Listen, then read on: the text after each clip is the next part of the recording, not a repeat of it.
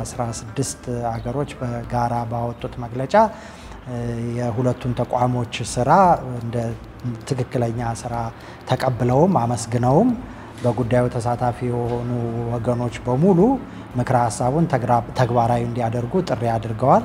ከነዚህ 16 ሀገሮች በተጨማሪም ደግሞ አሁን በቅርቡ በተባበሩት መንግስታት የጸጥታው ምክር ቤት ውስጥ ተካሂዶ በነበረው ስብሰባ ላይም ራሱ የተባበሩት መንግስታት የጸጥታው ምክር ቤት ከፍተኛ ኃላፊዎችም እንዲሁም ሌሎች ደግሞ ተጨማሪ የጸጥታው ምክር ቤት አባል የሆኑ ሀገሮችም በተደጋጋሚ ይህንን ሪፖርት እንደ ዋነኛ መነሻ ሀሳብ አድርገው በማቅረብ ሪፖርቱን በመቀበል በመደገፍ የጉዳይ ውስጥ ተሳታፊ የሆኑ አገሮችም ወይም ወገኖችም ደግሞ ምክረ ሀሳቡን ተግባራዊ እንዲያደርጉ ጥሪ በማስተላለፍ ውይይት ተደርጎ የነበረ መሆኑ ይታወቃል።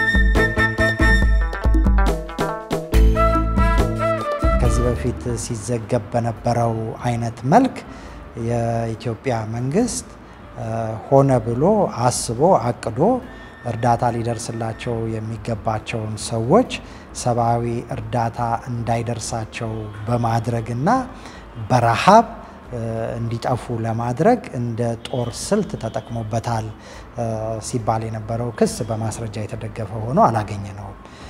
ይህ ደግሞ ሁለታችንም ተቋሞች በጋራ በሰበሰብ ነው፣ በጋራ ባረጋገጥ ነው፣ በጋራ ባደረግነው ትንተና የደረስንበት መደምደሚያ ነው። ዋነኛ የእርዳታ አቅርቦትን እንቅፋት ሆኖ ያገኘ ነው እና ያረጋገጥ ነው ቦታው ላይ በመገኘት የአካባቢውን ሰው በማነጋገርም የእርዳታ ሰጪ ድርጅቶቹንም ጭምር በማነጋገር ማረጋገጥ የቻልነው በማስረጃ ለእርዳታ ስራው አቅርቦት እንቅፋት የሆነው ዋነኛው ነገር የጦርነቱ ሁኔታ ነው። የጸጥታ አለመኖር ነው። የጸጥታው መደፍረስ ነው እና መገመት እንደሚቻለው ጦርነት በሚካሄድበት ቦታ ላይ በነፃነት ተንቀሳቅሶ እርዳታ አቅርቦት ለማካሄድ እንቅፋት እንደሚፈጥር የታወቀ ነው። በጣም ለመረዳት የሚከብድ ነገርም አይደለም።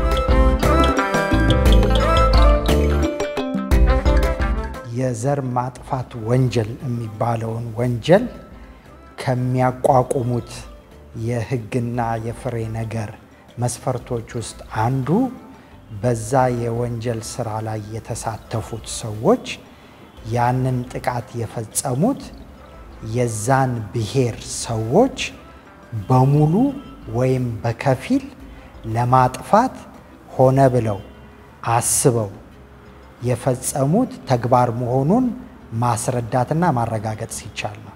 የዘር ማጥፋት ወንጀል ተፈጽሟል ብሎ ለማለት ሊረጋገጥ ከሚገባው ነገር ውስጥ አንዱ በድርጊቱ ውስጥ የተሳተፉ ወይም ድርጊቱን የፈጸሙና ያስፈጸሙ ሰዎች ያንን ድርጊት የፈጸሙበት ምክንያት የዛን ሃይማኖት ወይም የዛን ብሔር ተከታዮች በከፊል ወይም በሙሉ ለማጥፋት ብለው የፈጸሙት መሆኑን ማረጋገጥ ይጠይቃል። በሌላ በኩል ግን ይሄ የተፈጸመው ወንጀል የዘር ማጥፋት ወንጀል ነው ባይባልም ቀላል ወንጀል ነው ማለት አይደለም። በሰብአዊነት ላይ የሚፈጸም ወንጀልም የጦር ወንጀልም እጅግ ከባድ የግፍና የጭካኔ ወንጀሎች ናቸው።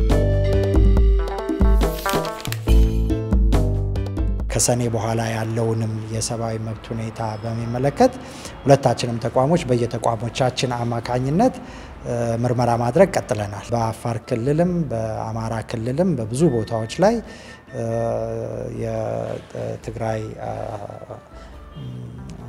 ኃይሎች ባደረጉት ጥቃት ጋር ተያይዞ የተፈጸሙ የሰብአዊ መብት ሁኔታዎችን ሰፊ ምርመራ አድርገናል።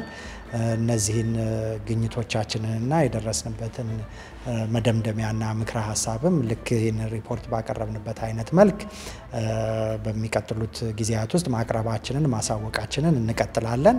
በተባበሩት መንግስታትና በእኛ ኮሚሽን አማካኝነትም ደግሞ ምናልባት ከዛ በኋላ ያለውን ጊዜ በሚመለከት የሰራነውንም ስራ አነጻጽረን በመመልከት በጋራ ሪፖርት ልናወጣ የምንችልበት ሁኔታ ሊኖር እንደሚችልም ሀሳብ መቀያየር ጀምረናል። ስለሆነም ወይ በጣምራ ወይም ደግሞ በየተቋሞቻችን አማካኝነት የምናወጣው ሪፖርት ይኖረናል ማለት ነው።